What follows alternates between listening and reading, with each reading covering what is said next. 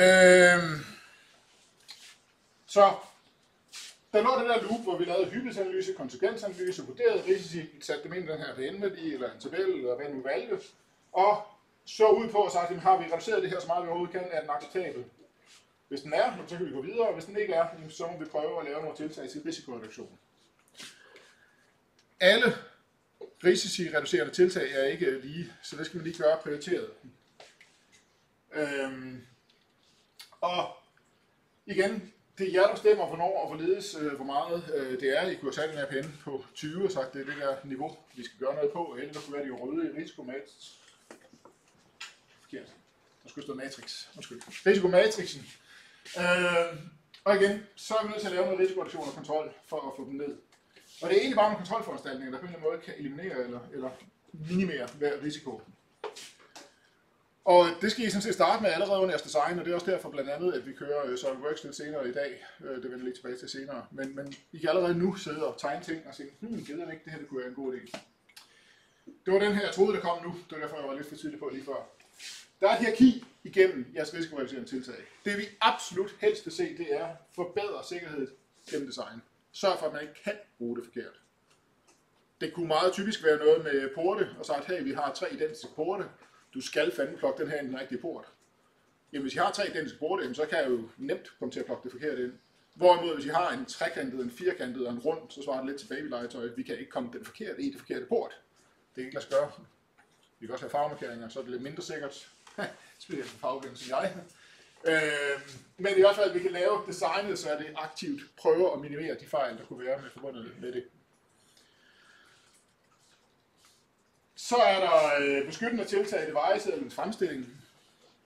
Øh, det kunne være fugt. Altså, det I kunne gøre, det var at måske lave en membran eller et eller andet, hvad vi er, så den faktisk kan tåle fugt. Det kunne være beskyttende tiltag. Det kunne være en alarm. Altså igen, I har prøvet at forbedre sikkerheden gennem designet. Det lykkedes ikke 100% at eliminere den. Vi er stadigvæk noget tilbage. Jamen, så kunne det være, at I gav en alarm. Det siger, jamen, så jeg kan ikke stoppe dig fra at gøre, hvad du lige har gang med. Men det lyder altså ikke rigtigt. Det lyder forkert. Jeg sender en larm ud, jeg gør et eller andet, der siger, det her det er risikabelt. Lad mig forstå. Øh, og det sidste, det er, at I giver information omkring sikkerheden gennem advarsler i IFU'en. Eller labeling. Det er det, sådan set det samme i den her kontekst. Så hvis I bare siger, I må ikke det her. Lad være med at gøre det her. I må ikke. Den der skal I passe morderligt meget på. Det har været lidt en sovepude for fabrikanter, og de ser ikke særlig venligt på, at de gør det der hos de lovgivende myndigheder. Fordi det er jo nemt, det er billigt, det er enkelt, for jeg bare skrive og sagt, fint, det må vi ikke. Det skriver bare i emissionsmanualen, så er vi ude over den fare, den er, risis, øh, den er minimeret.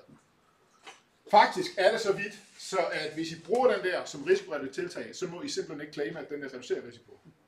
Så det vil sige, I har jeres matrix, vi så sidst på nogle skemaer, hvor I havde noget RPN-værdi eller noget et eller andet, der vi har talværdier.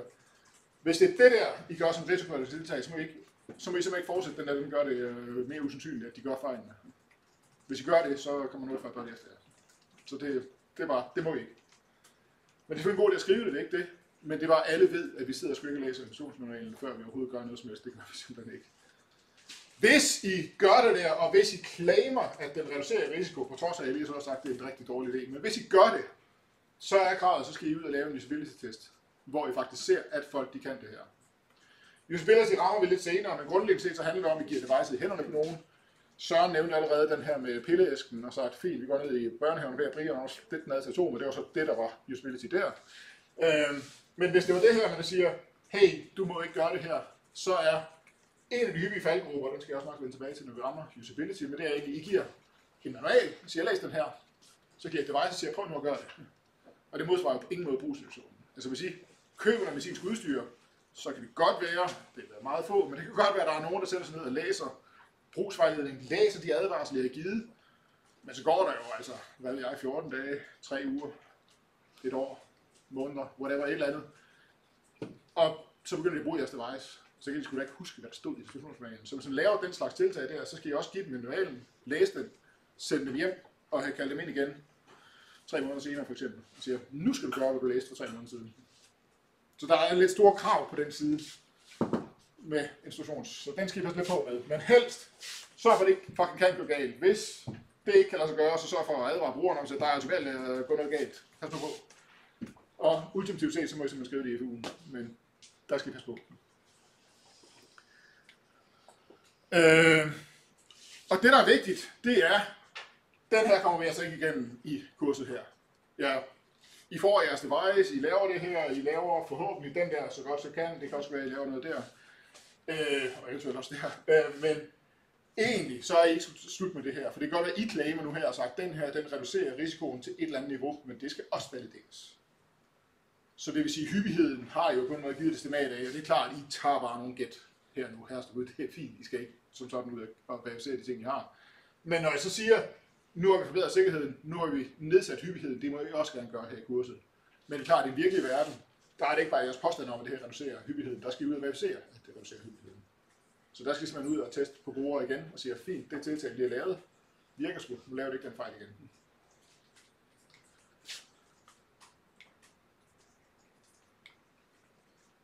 Når vi så er færdige, ligegyldigt hvad, så vil der jo være en eller anden residualrisiko. Der vil være en mulighed, ligegyldigt hvor godt I designer jeres device, for at der kommer noget galt på et eller andet tidspunkt. Og det er så residualrisikoen. Den kører I sådan set øh, gentagende gange. Første gang jeg overhovedet har kørt det her, det synes det vi laver her i kurset, hvor jeg siger, hey, vi tager alle vores risici, banker dem ind i Matrix, laver en FN-værdi eller gør et eller andet. Så regner vi lige igennem til allersidst og kigger, okay, hvad er vores residualrisiko? Hvor er vi henne nu? Står det mål med, hvad vi gerne vil? Eller står det ikke mål, jamen så kan det godt være, at øh, vi er nødt til at køre en runde mere og få det reduceret længere ned, og så kigge igen på residualrisikoen. Og så bliver det med at kigge på den. Så den her residuale risiko, den skal stå mål med jeres device. Så hvis det nu har en eller anden sindssyg livreddende effekt, så kan det godt være, at I har haft en med større grad risici. Hvis det nu var en, hvad ved jeg, automatisk øh, uh, tundejlet klipper, og den har en risiko, risiko for død, altså, så er der ikke rigtig nogen, der vil købe det device. Altså, det skal stå mål med hinanden. Hvorimod, altså her går igen kemo og sagt, at det er pisse det vil vi gerne tage, trods alt, det har risiko for død. Eller blødmedicin, som Søren også var inde på. Altså, fint, det er noget lort. I dør, og vi dræber patienter hver eneste år med blødermedicin. Men vi redder til gengæld mange flere. Så det skal stå mål med hinanden, men der skal I simpelthen kigge på og sagt, det er residualrisiko-niveau, I har, og den ydeevne, I performer, står de mål med hinanden nu, og i så fald, så kigger vi videre. Så hvis den er acceptabel, og hvis øh, benefit risk ratio, som det hedder på engelsk, de øh, vejer op mod hinanden, jamen så er det bare at dokumentere, hvordan man ledes I noget frem til det. Hvis ikke, så er der kører hele møllen igen. Så det er fint. Hvad kan vi så gøre for at reducere risici?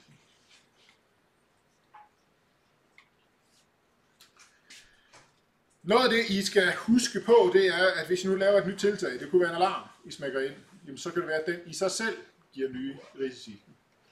Eller det kunne være, at I lavede den der membran, der var lige før. Hey, hvad nu hvis den ikke kan tåle det rengøringsmiddel, lige også havde derhen i hov for søren, så har lige lavet en ny risiko for, at vi gør et eller andet galt.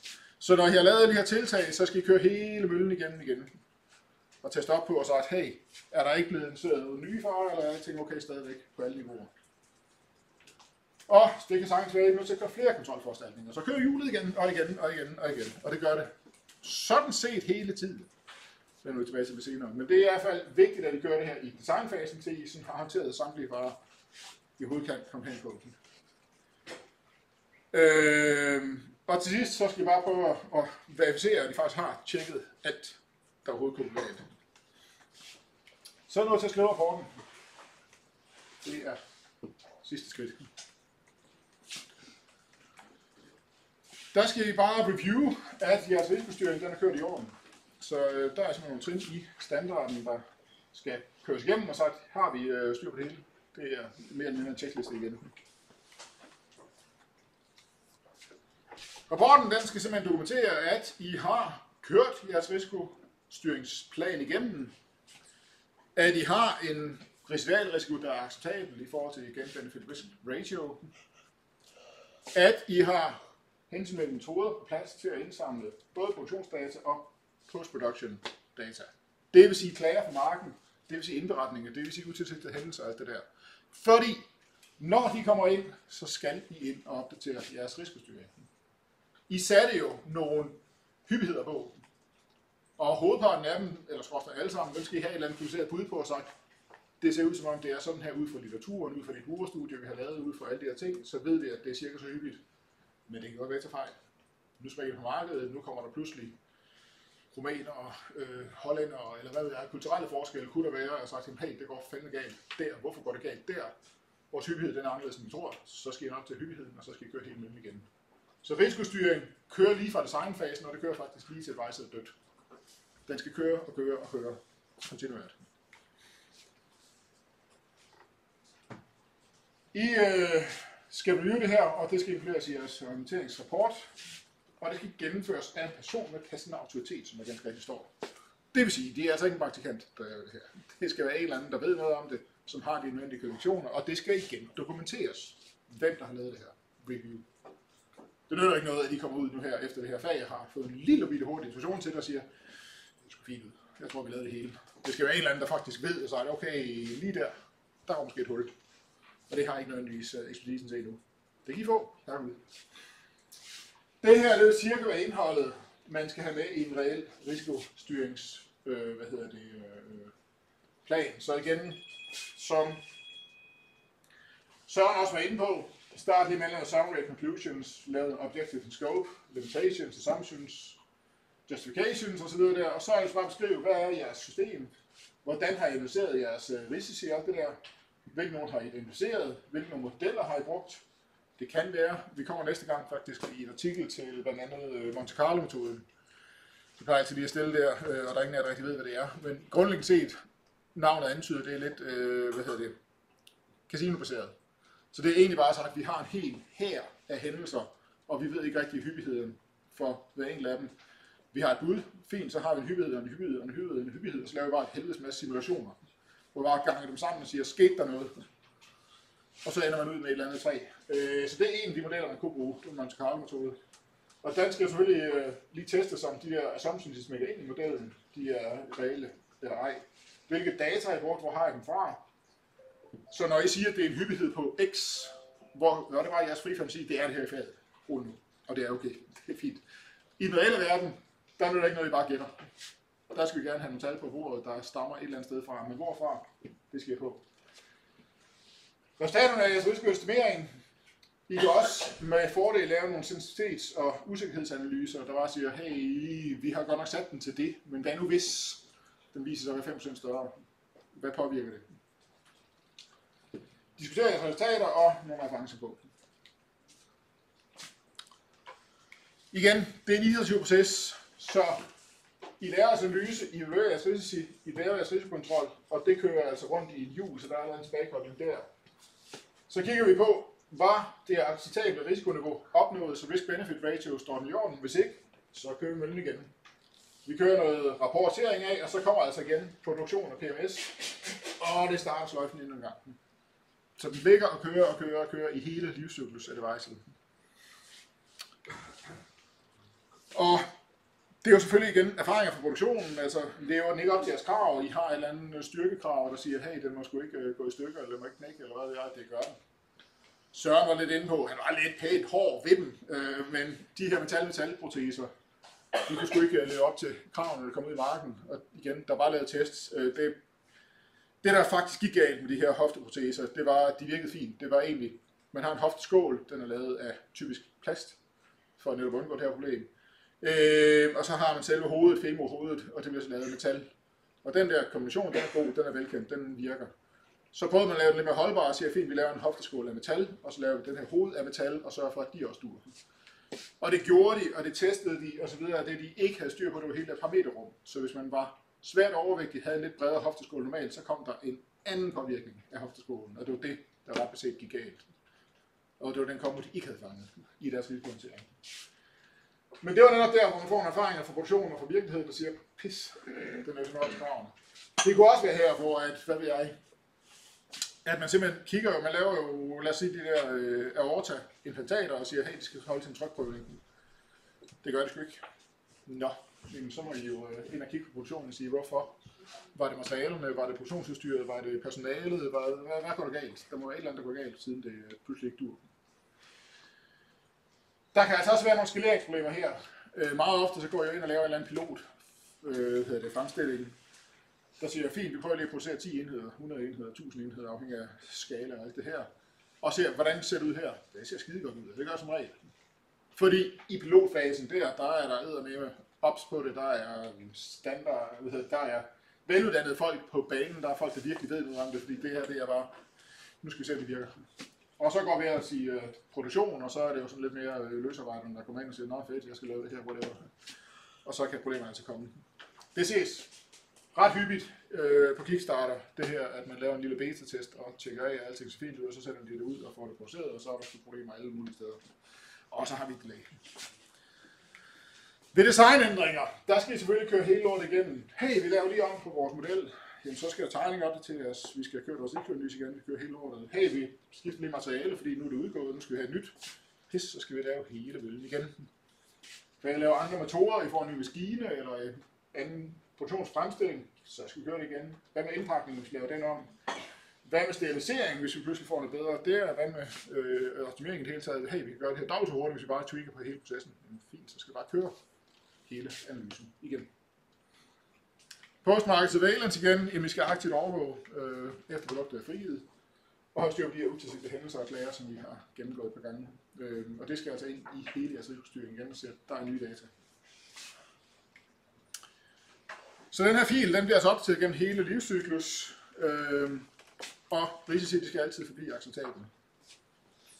I skal også finde ud af, at der bliver identificeret nye fejl og risici, både på jeres produkt, men igen også konkurrenterne. Så her er vigilance krav om, at de skal altså overvåge og sagt, hey, de havde et problem, muligvis har vi også et problem. Og igen, kontinuerer på at bevise, at de der antagelser og scoringskriterier, I har, at de faktisk gælder, at de er okay. Det kunne også være, at der kom noget fantastisk nyt, der siger, hey, vi kan jo fuldstændig sterilisere 10 gange bedre, end vi kunne. Jamen, så er kravet også, at de har sagt, fint, det skal I lige kigge på, om det er smart at gå den vej. Det var konkurrerende produkter, som vi også havde den af. Så under et, så handler det om, at de har en risk analysis. Så estimerer risici, evaluerer dem, kontrollerer dem, bedømmer dem og styrer, holder styr på dem løbende. Og det ligger igennem de her faser dernede af, så vi har den risikovurdering her, og så har vi taget af det risikostyring. Så det er bare et overblik over det hele. Jeg prøver at se den her. Den er i en lidt større øh, flowchart i selve standarden, øh, side 45, det kan jeg faktisk ikke huske, om det er den konkrete udgave, vi har. Figuren er der i hvert fald derinde af.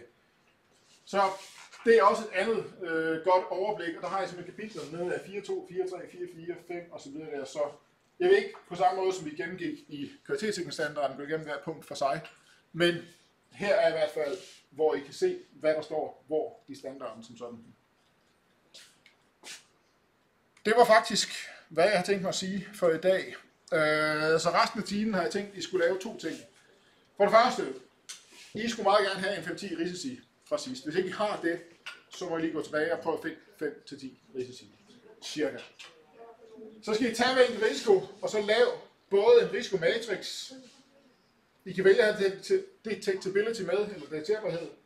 I så fald, så øh, gang lige sandsynligheder, det, det, detekterbarhed, sorry, sammen på den ene øh, variabel og lave en APN. I må gerne bruge begge dele. Problemet er jo selvfølgelig, hvis I bruger begge dele, så kan de altså konfliktere. Nu vil jeg gerne have, at I lige lave det her, bare lige for at tjekke op på det, men hvis I både laver en APN og en rød, grå, grøn, så igen det der combo og sagt, at det kan godt være, at nogle af dem bliver markeret gul, på trods af, at den egentlig har der APN-værdi, der står anderledes. Så jeres scoringssystemer kan godt gå lidt uoverens der. Så jeg personligt foretrækker den ene eller anden vej, men jeg har hørt om folk, der laver begge dele, så derfor siger jeg bare, prøv lige at lege med begge dele her.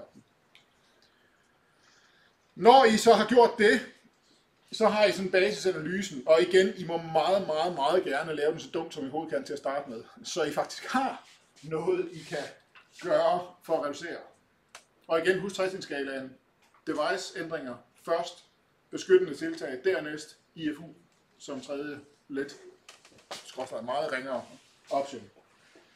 Og så skal I øh, kigge på jeres risikovurdering og opdatere den fuldstændig ligesom det skema, jeg viste sidst, hvor vi havde nogle initielle værdier, og så lavede et eller andet forslag til, hvad vi kunne gøre, og så kom nogle postværdier derude efter. Yes, det er det for resten af timen. Den der time i hvert fald. Det var lige det, jeg skulle huske at vende tilbage til her. Jeg sendte en besked om, jeg håber, det var nogenlunde forståeligt, men det var bare, at øh, vi mangler alle de her tre lektioner for at ramme de 28 gange 2 timer, I har fået allokeret i følge lektionsplanen. Øh, så jeg har simpelthen gjort det, at jeg har taget SolidWorks-delen, altså det vil sige CAD-tegning og alt det der, fordi der er en hel del af jer herinde, i særdeleshed dem, der ikke kan være her fra 12 til 2, som har det i forvejen. Så derfor så kører vi SolidWorks her fra 12 til 2, øh, hvor I bare lærer lidt om at tegne i SolidWorks. Fordi hey, hvis I skal ind og dokumentere de her ting, så er det en fed måde at gøre det på. Og det gør vi både i dag, og det gør vi også næste tirsdag. Så har I fået to af de mange lektioner ind. Den tredje, det bliver så øh, den gæsteforelæsning der fra, øh, hvad hedder han, øh, Henrik Johanning over fra Genau Mor, som handler om det her med data-integritet, altså med, hvor I overvåger produktionen og siger, hvordan sikrer I, at data, I får ind, de faktisk er valide og bliver gemt ned og ikke kan ændres og alle de der ting. Og den kommer han at levere, mens jeg er på kursus, så det er smart, så derfor har jeg to timer ekstra af igen. Men det betyder, at en af de timer, jeg havde aflyst, bliver gennemført. Den ligger ikke i Blackboard nu, jeg skal nok så, at den kommer ind, men det ligger den 22. marts. Så det er en torsdag, hvor I øh, bare får timerne gennemført. Godt. Resten af tiden, det er jeres til at kigge på jeres device og prøve at få lavet noget af det her.